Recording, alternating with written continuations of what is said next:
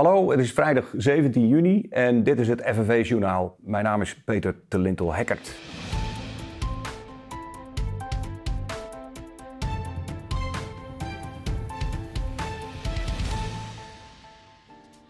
Voordat we met het FNV-journaal beginnen, heb ik nog een mooi filmpje voor jullie klaarstaan. Onze voorzitter Tuur Elsinga die was op bezoek bij Volkenrail. Kijk even mee. Zien hoe het echte werk gebeurt, uh, wat er allemaal voor nodig is, wat erbij komt kijken. Uh, je krijgt ontzettend veel respect voor al het vakwerk wat hier gebeurt uh, en de veiligheid die daar altijd steeds weer voorop staat. S'nachts als het eh, spoor wordt afgesloten, dat dan nou ja, in no time als geoliede machine al die ploegen mensen aan het werk gaan om de rail te onderhouden. Zodat je de volgende dag nergens wat vermerkt en weer gewoon veilig over het spoor kan rijden.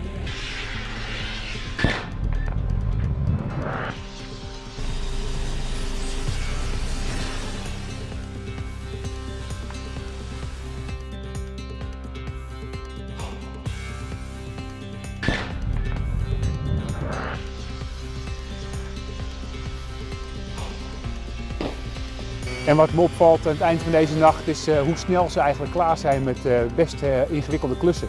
Waar heel veel mensen samen moeten werken, allemaal hun eigen plek en hun eigen taak. En iedereen weet, ze staan een kwart over één klaar. Zo gauw ze het zijn krijgen, spoorvrij. Gaan ze onmiddellijk aan de slag en een paar uur later ligt er een heel stuk nieuw rail in en zijn alle seinen gecontroleerd en is al het hele traject weer nagelopen. Fantastisch om te zien. 5 procent Zoveel krijgen de 110.000 mensen die werken in de bouw en aan onze wegen er volgend jaar bij. Het is de hoogste loonsverhoging voor hen ooit. De FNV is blij met deze afspraken, de nieuwe CAO Bouw en Infra. Het laatste woord is nu aan onze leden. Zij mogen stemmen. Op Schiphol is de kogel intussen al door de kerk. De beveiligers, afhandelaars, buschauffeurs en schoonmakers op de luchthaven krijgen een nieuwe CAO. Zij zijn daarmee akkoord gegaan. Die gaat in per 1 juni. En ze krijgen onder andere een zomerbonus van 5,25 euro. Voor beveiligers, schoonmakers en buschauffeurs komt daar tot en met volgende zomer nog eens 1,40 euro bij voor ieder uur dat ze gewerkt hebben. Ook fijn, ze hoeven niet meer te betalen voor hun koffie en thee en mogen gratis parkeren. Een stukje waardering dat ze wel verdiend hebben. Acties in het streekvervoer. Je hebt het misschien al gemerkt als je bus niet reed. Eh, de buschauffeurs in het hele land zijn boos. Ze hebben inmiddels al 13 dagen actie gevoerd. En waarom dat is, uh, gaat Marijn van der Gaag ons uitleggen. FNV-bestuurder streekvervoer. Dag Marijn. Hoi. Ja, dat klopt. De buschauffeurs zijn boos. Um, ze willen een beter CEO, maar vooral ze willen dat die uh, gigantische werkdruk omlaag gaat. Uh, daarom strijden ze daarvoor en voeren ze actie. Je zegt uh, gigantische werkdruk, die pik ik er even uit. Wat, wat, wat uh, kun je vertellen hoe hoog die werkdruk is? Waar dat zich in uit? Nou, het beroep van buschauffeur is in België eigenlijk al bestempeld als een zwaar beroep. Dat heeft te maken met de hele zware onregelmatigheid in het rooster. Op de maandag begin je om 5 uur, op de dinsdag begin je om 8 uur. En dan op de woensdag om 11 uur. Dan heb je nog een keer een, een dag een gebroken dienst. En dan ga je misschien met een hele late dienst het weekend in. En dan kun je vervolgens aan het eind van het weekend weer met een hele vroege dienst weer gaan starten. Dat zorgt er eigenlijk voor dat je niet goed kunt uitrusten. Daarnaast wordt er al heel veel bezuinigd natuurlijk op de dienstregeling. En er worden steeds meer minuten uit die, uit die dienstregeling gehaald. Dus de afstaptijden, de keertijden, de opstaptijden, de pauzetijden, daar wordt steeds verder op bezuinigd. Al met al, uh, en ook met het oplopende personeelstekort, is dat eigenlijk wel een, ja, een giftige cocktail. En uh, het is in essentie een prachtig beroep. Dat kun je in elke mm. buschauffeur vragen. Maar zo gaat de lol er wel echt snel vanaf. Ja, ja oké. Okay. Dus boze buschauffeurs, al 13 dagen uh, actie gevoerd. Hoe zagen die acties eruit? Uh, dat waren in ieder geval voor ons gevoeld. Ja, het is jammer, jammer dat je moet actie voeren. Maar als je het doet, dan wil je dat iedereen eraan meedoet. En we hebben nu al 51 vestigingen, die hebben al een dag gestaakt. Er zijn ongeveer 120 vestigingen in Nederland. En ik denk ongeveer dat 70% van de dienstregeling die op die dagen gereden had moeten worden, uh, niet gereden heeft. dus daar hebben de, de mensen in de, in, de, in de provincies behoorlijke last van gehad? Absoluut. Dat is natuurlijk wel vervelend. We hebben wel extra gekeken naar uh, de schoolexamens en de herkansingen. We wilden dan wel de scholieren ontzien. Maar ja, je moet wel aandacht gaan vragen voor dit verhaal. Dus we uh, maken wel gebruik van het actierecht. Dus we hebben ook mensen die er last van hebben. Ja. Uh, wat is de volgende stap? Ja, dit is onderdeel van een estafette uh, staking. We hebben al 51 van de 120 vestigingen gehad. Dat gaan we gewoon af. we gaan straks ook nog een klein stukje zomerreces pakken, maar daarna gaan wij natuurlijk wel weer verder. Want er moet en zal een betere CAO gaan komen. Hmm. Helder. En de volgende actie? Aankomende zaterdag, Utrecht Stad. Oké, dankjewel. Utrecht Stad dus zaterdag. Ik zou zeggen, ga op de fiets. Nieuws uit de vereniging. Het ledenparlement kwam deze week bijeen en sprak over de WMO. Wat? Wim Hiddik, lid van het ledenparlement, legt het kort uit. Hij is in ieder geval super blij.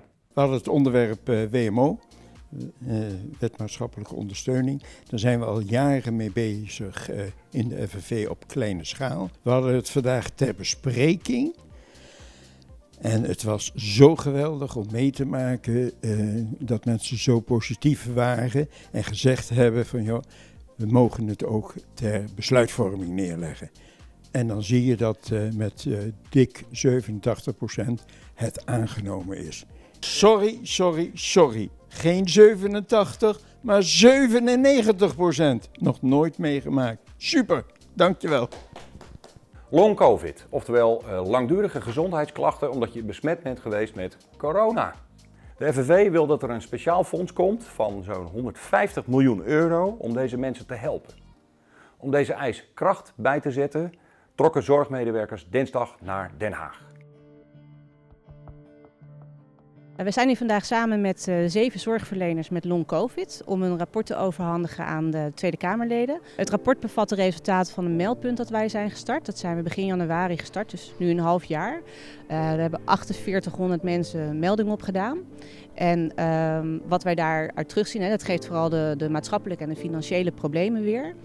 Um, dat er enorm veel kosten gemaakt zijn. Bijvoorbeeld voor revalidatietrajecten die niet vergoed worden. Uh, maar ook terugval in salaris, omdat mensen langer dan een jaar ziek zijn. En in sommige gevallen zelfs langer dan twee jaar ziek zijn.